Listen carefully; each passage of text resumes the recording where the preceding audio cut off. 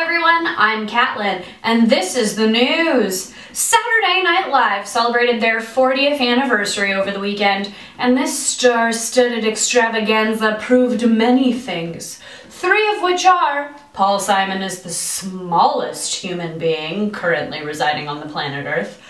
Lorne Michaels is absolutely 100% a vampire. That man has not aged. And if you're not a vampire, what moisturizer are you using?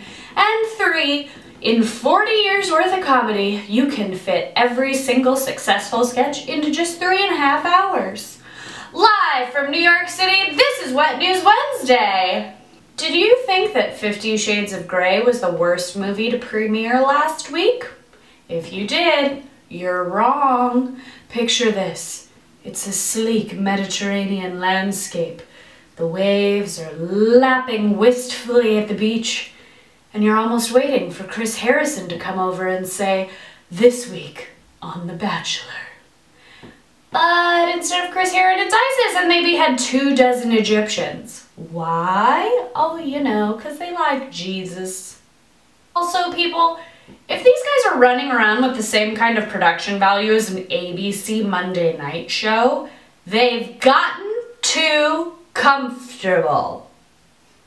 The Sports Illustrated swimsuit edition is on stands. Oh, I love it. Just a whole month dedicated to female insecurity.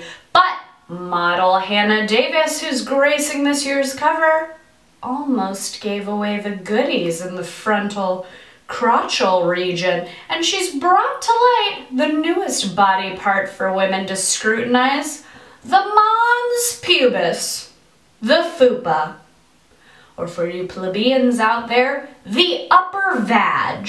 Someone in Soho is just waiting to pluck, bleach, and rub that down with some lavender oil. And you know what this reminds me of? A little known fact. Do you know what Audrey Hepburn, Harriet Tubman, and Eleanor Roosevelt have in common?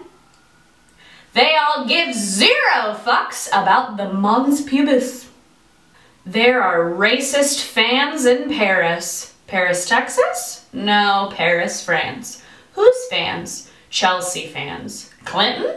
No, Chelsea Football Club. Football? No, soccer. I know it's really confusing, but the only clear point is that racism is stupid.